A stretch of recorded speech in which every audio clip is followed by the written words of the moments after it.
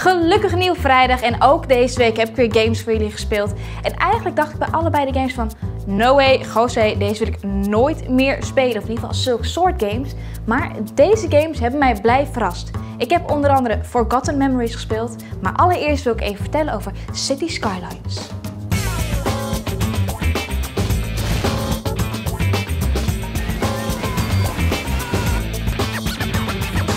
Twee jaar geleden werd ik keihard teleurgesteld door SimCity en ik zwoer dan ook nooit meer een citybuilder te spelen.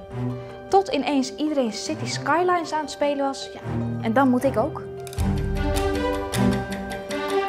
In Cities Skylines neem jij het heft in eigen handen en bouw jij de stad van je dromen.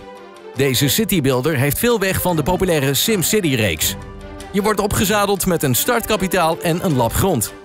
Door gebouwen te bouwen en werkplekken te creëren, stromen nieuwe inwoners de stad binnen en groeit je stad.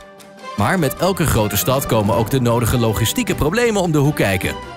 Bemoei je niet alleen met het verkeer en het beleid van wijken om de problemen voor te zijn, maar vind ook een financiële balans in de te vragen belastingen. Tot slot biedt de game ook de mogelijkheid tot mods. Op deze manier kan je elk aspect van het spel je eigen maken. Cities Skylines is nu verkrijgbaar via Steam voor de PC en Mac.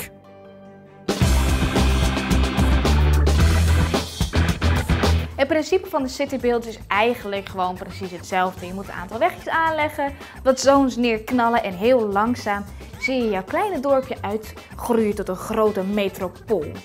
En ik had al gezegd, na SimCity dacht je zo, no way, dit doe ik nooit meer. Maar oh my god, City Skylines is best awesome. En heel moeilijk. Ik kwam er gewoon niet uit. Ik heb internet moeten raadplegen. Zelfs tijdens de livestream zaten heel veel mensen. Schrijven. Klik daar. Doe, doe dat. Dat moet je nu doen. En dat is eigenlijk wel wat mij een beetje tegenhield de City Skylines. Het is eigenlijk ietsjes te moeilijk. Het begin is, wat ik al zei, heel basic. Maar van het kleine dorpje verder gaan, dus echt het stapje verder, is heel erg pittig. Maar wat ik wel echt een verademing vond, is één. Je kan gewoon lekker de offline singleplayer doen. En je kan steeds meer land kopen. Bij SimCity zat je natuurlijk vast op het hele kleine postzegeltje. Maar nu kan je dus echt een enorm imperium maken. Een enorme stad. En dat is wanneer City Skylines interessant wordt. Wanneer je eindelijk snapt hoe alles echt werkt en dat je steeds meer uit kan bouwen. Vooral de tweede keer, zodat je echt weet hoe het werkt, ga ik echt nadenken. Oké, hoe kan ik echt alles mooi eruit laten zien? Kleine buurtjes maken. En dat is juist wat je denkt, oké, ik wil nog, nog meer en nog groter. Hoe absurd groot kan ik het nu weer doen? City Skylines heeft ervoor gezorgd dat ik denk, ja, citybuilders zijn best oké. Voor de mobile game van deze keer heb ik een genre gekozen wat ik eigenlijk stiekem heel erg tof vind, maar niet zo snel op een iPad had verwacht. Het is namelijk een survival horror game en hij heet Forgotten Memories. I need to find something to heal myself.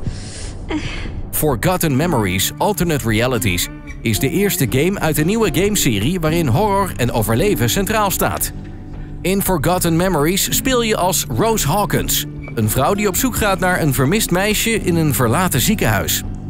Tijdens haar zoektocht komt ze oog in oog te staan met haar grootste angsten. What's that? De game pakt de beste elementen uit horrorklassiekers zoals Silent Hill en Resident Evil en weet deze goed samen te brengen op een handheld. Ondanks dat er meer delen verschijnen, heeft elk spel uit de serie een eigen verhaal dat losstaand te spelen is. Forgotten Memories Alternate Realities is nu onder andere verkrijgbaar voor iOS.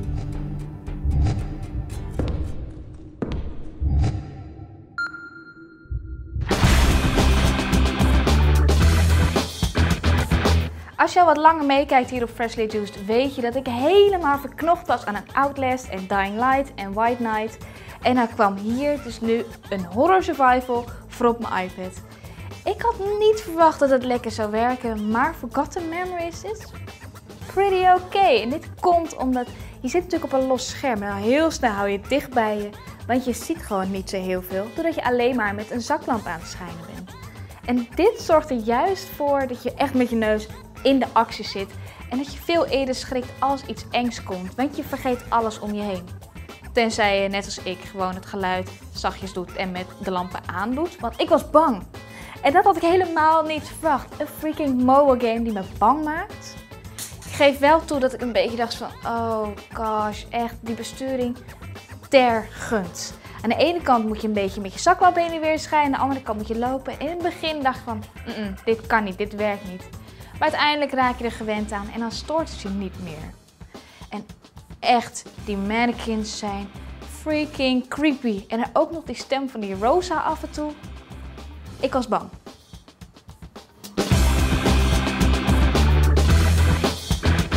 Dat was nummer 75 alweer.